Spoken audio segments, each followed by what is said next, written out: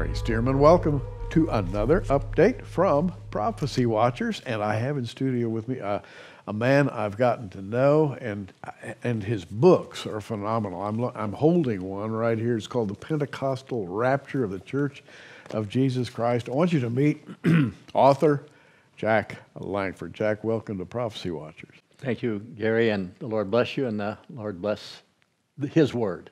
Well, his work is amazing. It's beyond human comprehension, and, and I get a real sense of that when I read your books. That is to say, you, you move into uh, the realms of, of uh, the deeper meanings of Scripture. Mm-hmm. And your book, The Pentecostal Rapture of the Church of Jesus Christ, really caught my attention, and I have read it very carefully and agree with it.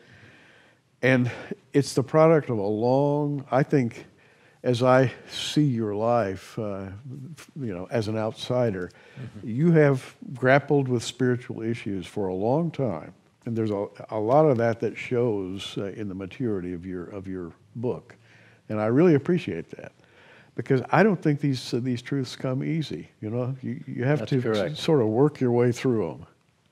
And the rapture of the church and its relationship to Pentecost is almost a hidden truth. It has not been capitalized on by pre-tribulational rapture teachers for a long, long time. It's it's kind of been a we think so, or it may be, and we can toy with the idea. Mm-hmm. But here I explored in, in enough depth, and of course you had already come to the conclusion yourself yes. a number of years ago uh-huh. on that uh-huh. subject, and this complemented in your own mind that reality. It is we're not twisting something to try to make it no. conform to the rapture. We're presenting something in a very systematic way that will show yes, the Feast of Pentecost was prophetic, a feast day, prophetic of resurrection and ascension. And here's proof of it.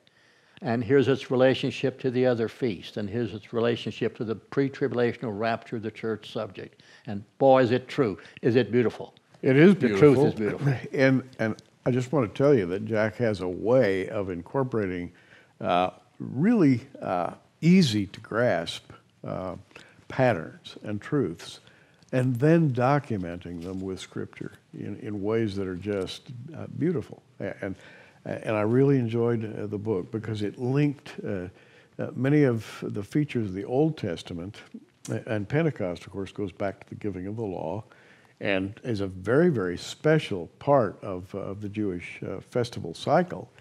And that the, the two loaves that are held up on Pentecost uh, uh, are just so beautiful when you really grasp what, what is being shown.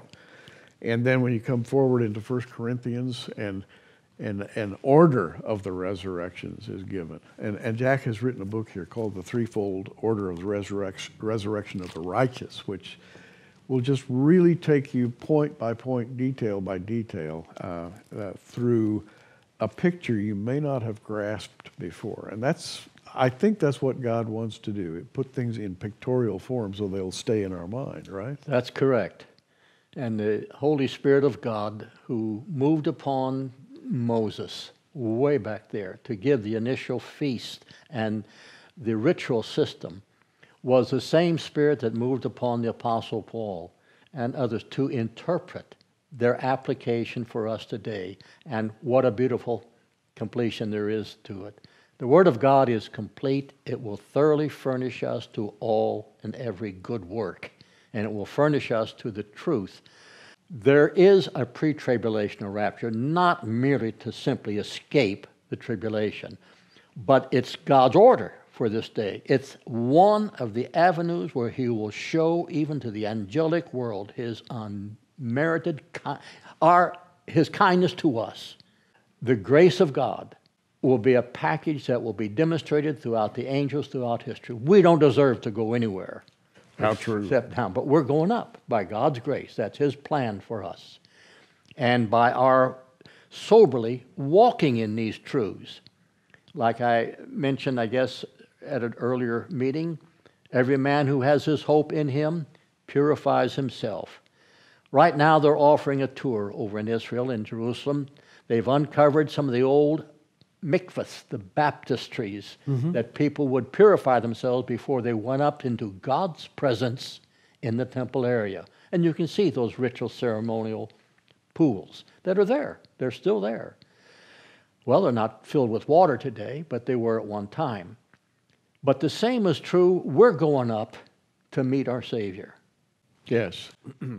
Purify yourself. Bring your life into subjection to the Word of God and to His order for us today. One of the beautiful things, burden in Paul's heart, is he wanted to present his saints blameless in the day of the Lord Jesus. Wow. When I hear a man who has a burden for me like that, uh, it melts my heart. And I want to follow. I want to. Paul was a contentious fellow. He was a troublemaker, a ringleader of the Second Nazarene, and blah, blah, blah, blah. But listen, he was a, he loved his people, and he would die for them.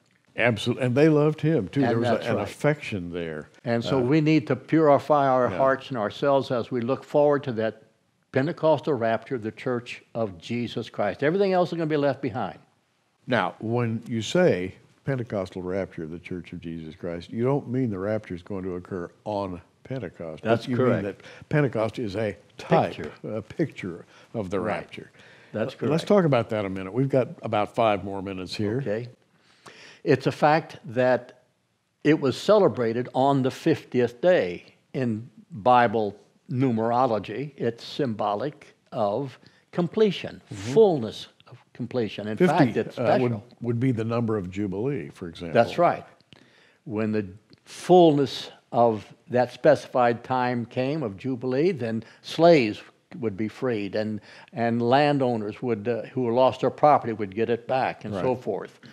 And it simply symbolized when God wanted that time period over with. It was uh, generally spoken of in terms of the 50th. And the same way with the observance of the Feast of Pentecost. It was 50 days after the wave sheaf of at the Feast of Unleavened Bread, Christ our Passover sacrifice for us, and He's our resurrection. He is the first fruits of them that dead. Start counting. 50 days later, when the fullness of time came, the f- day of Pentecost had fully come, boom, the church was born. And when the antitypical Pentecost is fulfilled, boom, the church will be gone. Just as quickly as it came, it'll be gone. And I think that you put that into uh, believability mode better than anybody I've ever seen write about it. I think when you uh, read Jack's book on the, the Pentecostal rapture, the Church of Jesus Christ, things will click together because he has the ability to put details in palatable form, which is not an easy thing to do in a book, by the way. It's one thing to do research and put all your uh, research uh, between book covers. It's another thing to do research and make that research uh, available to someone who's never read it before. And that's what uh, this book does, and that's uh, why I'm so excited about it and so excited to have met uh, Jack, Jack Langford. Uh, I, I see you open your Bible to another section there. Well, I just opened opened it up to the the diamond of the book of, of Romans, Yeah. the chapter eight, where Paul ties together the blessings we have in Romans one, where all every, he establishes the fact that men are sinful. Two, both Jews and Gentiles are sinful. And the world is, in chapter 3 is under the curse. But in chapter 4, you're saved by faith without works. Five, we have peace with God.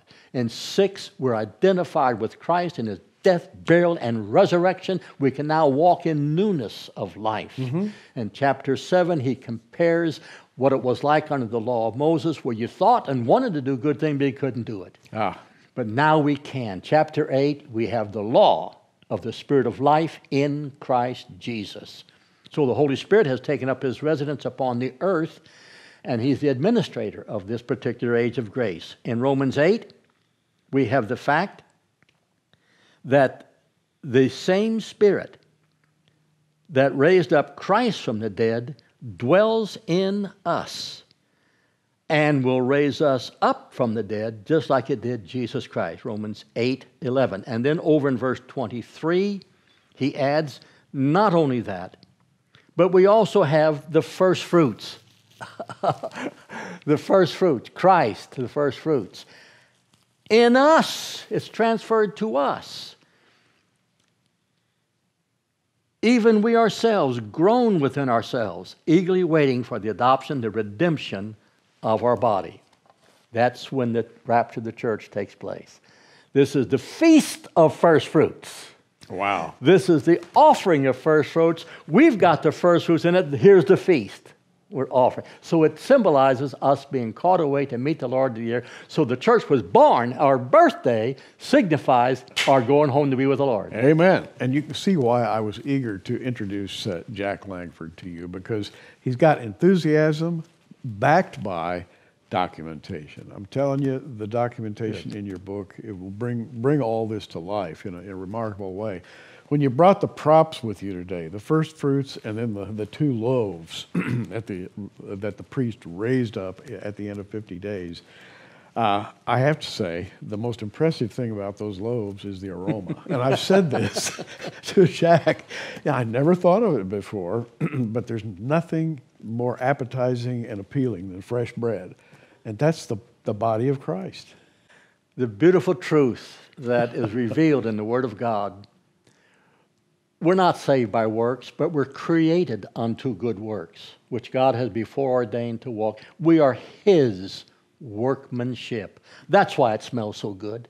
Yeah. That's why when we're caught up, it'd be a blessing to God, our salvation. We're His workmanship, created for good works. So, anyway. Wow.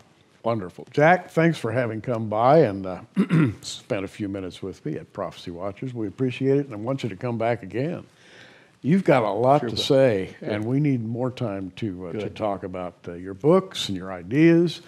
We've barely touched upon them. Jack Langford, a great author. Uh, look for him uh, in the uh, Prophecy Watchers online bookstore. Just hit the online bookstore, scroll down, you find Jack Langford's name and we're going to have his books there for you.